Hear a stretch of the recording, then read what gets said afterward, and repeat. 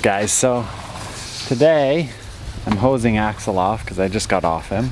Is this really zoomed in? Yeah, that's better. I just got off Axel and I wanted to talk to you guys about kind of something I've been struggling with on this channel, how to make it kind of what I envision. I want educational stuff, but I also want it to be fun to watch and like have beautiful artsy things like me hosing Axel off. Quick break for that.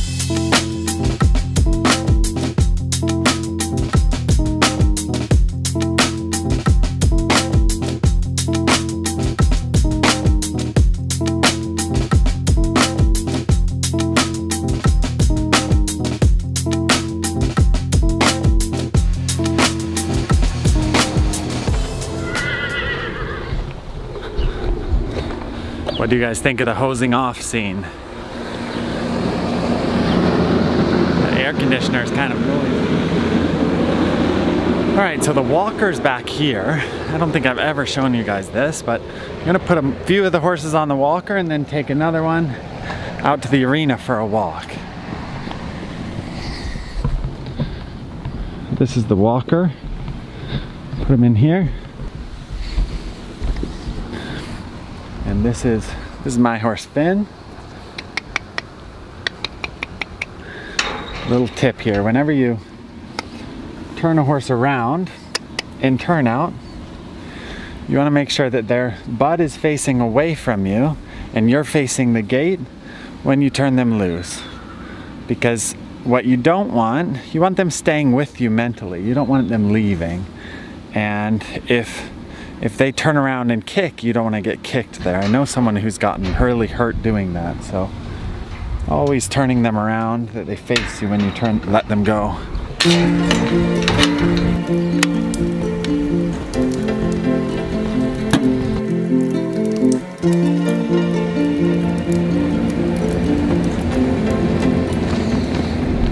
Okay, so already we have two things. We have a sequence in this video which is fun to watch, the hosing the horse off.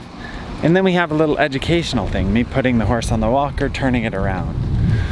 Now, that's that's what I want on this channel. I want educational content and I want things that are fun to watch. It's it's fun for me to make things that are artistic and beautiful. Um, what I struggle with is like mixing those two and it's kind of challenging and I've thought a lot about this so I'm trying to figure out the best direction to go with that.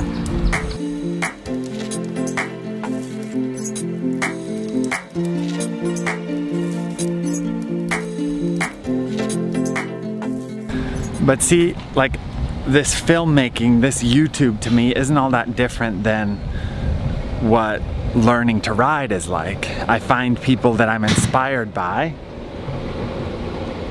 Are they being rotten? And then find people I'm inspired by and then mimic them. So like here on YouTube, I, I don't know if you guys can hear me over that air conditioner.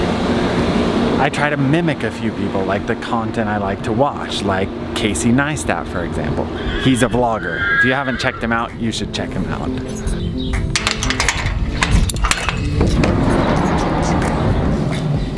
Let me set this down. Me set this down right here.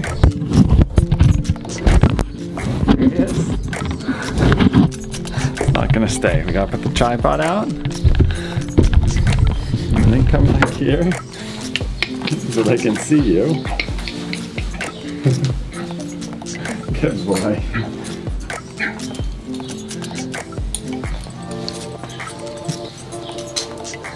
Good boy.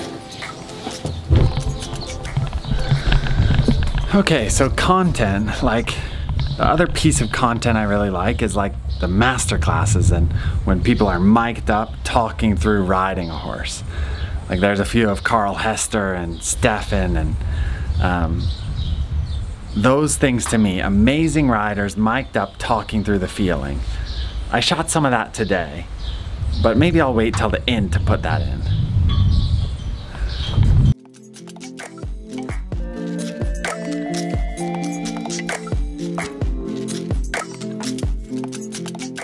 Hey, Sainty.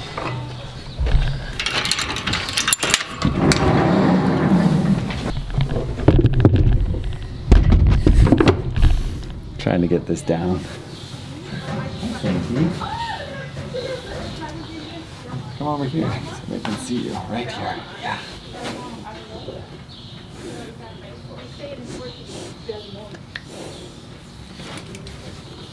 Hello.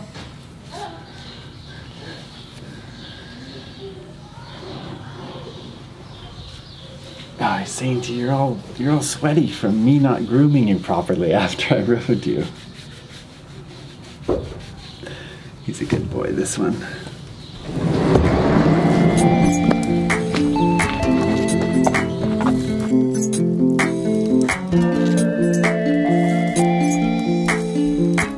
Here's the part where I'm struggling. Like, how do I mix the content that's kind of uncut, just horsemanship? Like that really good, meaty horsemanship. How do I mix that with the super entertaining, like conversational stuff like this? I feel like this is really good content and it feels like I can get even a cut deeper, a cut more intimate, right?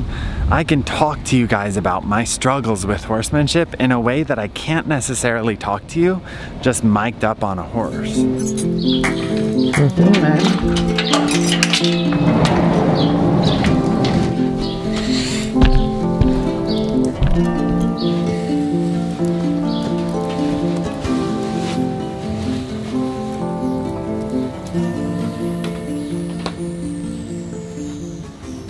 he's always like skeptical. He's skeptical of things like the camera.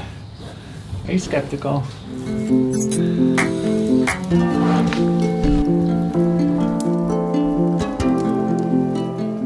This is B. He's a three-year-old. He doesn't go on the walker yet, I, so I just hand walk him. Take him out here toward the toward the dressage arena. See, like as much as I'm struggling with kind of finding my way on YouTube and producing really, really good content, I'm like, I, I'm exactly where I want to be because I'm working and struggling and learning and training. And that's where I want to be with dressage and that's when I, where I want to be with filmmaking too and YouTube.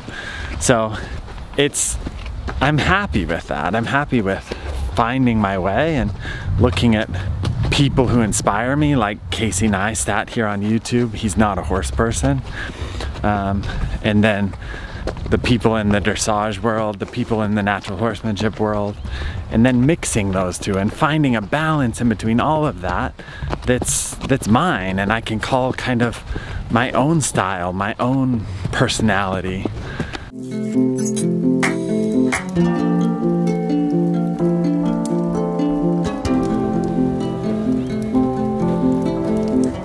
I look forward to putting this one on some of the videos because I'm just starting him under saddle. He hasn't been ridden yet, but soon.